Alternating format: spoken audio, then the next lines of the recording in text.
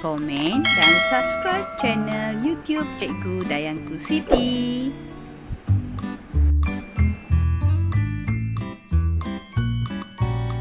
Okey, Assalamualaikum dan salam sejahtera. Saya ucapkan buat semua rakan-rakan guru di luar sana. Okey, hari ini uh, atas permintaan rakan guru di sekolah, okey, saya akan membuat satu tutorial bagaimana kita nak buat pengisian untuk uh, borang RPH online. Okey, ini borang ini adalah yang saya hasilkan berdasarkan uh, template RPH yang telah disediakan oleh pihak sekolah untuk memudahkan guru-guru menghantar RPH pada uh, waktu-waktu pandemik COVID-19 ni. Jadi uh, ini merupakan dashboard sekolah. Okey. Jadi uh, borang RPH tersebut diperolehi di bahagian ini. Okey, uh, ada rakan guru bertanya uh, bagaimana nak uh, mengisi ataupun mengupload uh, bukti-bukti atau evidence. Okey, bahagiannya adalah di sini. Okey, sebelum tu saya type dahulu. Okey. Uh, saya type dulu email.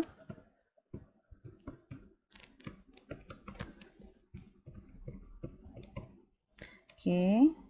Saya pilih nama.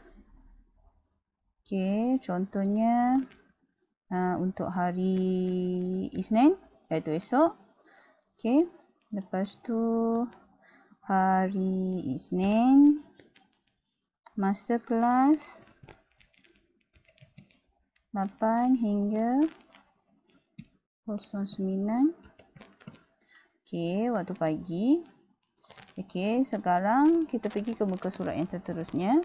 Okey, ini adalah maklumat RPH. Okey, di mana uh, perlu mengisi maklumat RPH. Lepas tu nama mata pelajaran. Sebagai contoh, saya mengajar bahasa Inggeris. Okey, saya pilih kelas. Okey. Lepas tu kita boleh type tajuk yang diajar. Sebagai contoh, hmm, Okay, saya nak buat tajuk storytelling.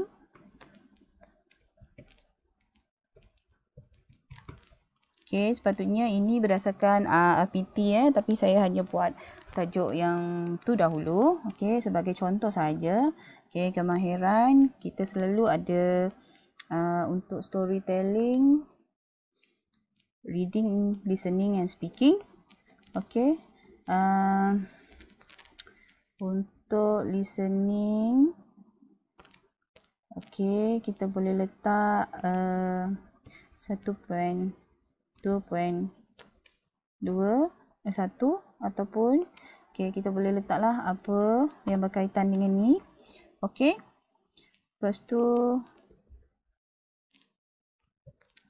ni sebagai contoh je eh. Okey.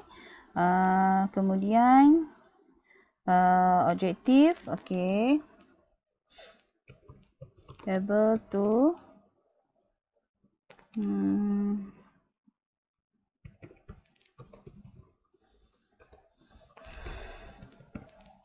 Okey. Lepas tu objektif yang kedua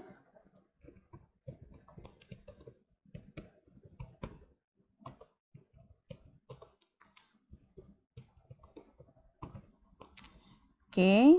And then kita isi aktiviti. Okay. Saya isi apa-apa aktiviti dahulu sebagai contoh ya. Okay. Kalau tak, lama nanti.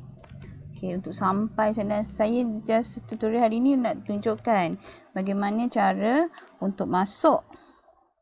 Okay. Masuk ke... Hmm, okay. Ini kita tulis Telegram. Macam mana kita nak upload bahan ke dalam RPH ini. Okay, refleksi, bla bla bla. Okay, ini dia bahagian yang saya nak tunjukkan. Okay, uh, untuk bahagian ini, okay, guru-guru boleh add file.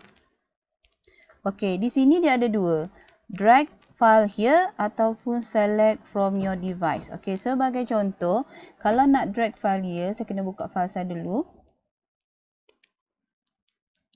Okey, contoh uh, saya buka file sekejap eh. Okey, ini bahan pengajaran. Okey. Uh, iaitu, okey, contoh ni adalah worksheet. Okey, saya kecilkan monitor ini. Okey. Dan ini adalah paparan monitor yang satu lagi tadi. Saya kecilkan juga.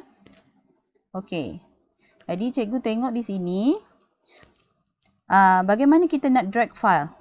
Jadi kita just klik file yang kita nak di sini di dalam kita punya um, hard drive. Okay, daripada kita punya PC, kita just drag masuk ke sini dan lepas tu drop. Okay, sekarang dia dah ada di sini. Jadi just klik upload. Itu adalah cara yang pertama. Okay, cara yang kedua, kita pilih di sini select file. Okey kita besarkan balik. Kita select file from your device. Macam biasa. Ni macam biasa ya rasanya semua orang tahu. Okey kita masuk ke bahagian mana yang kita nak tadi. Okey ini.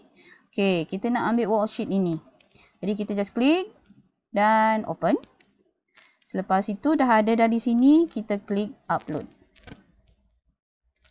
Okey, itu saja cara bagaimana kita nak uh, upload bahan daripada komputer ke dalam RPH online ini. Jadi saya harap uh, buat cikgu yang bertanya sebentar tadi, uh, jadi tutorial ini dapat membantu cikgu bagaimana nak masukkan uh, evidence ataupun bahan bukti pengajaran yang cikgu telah buat untuk dimasukkan ke dalam RPH online.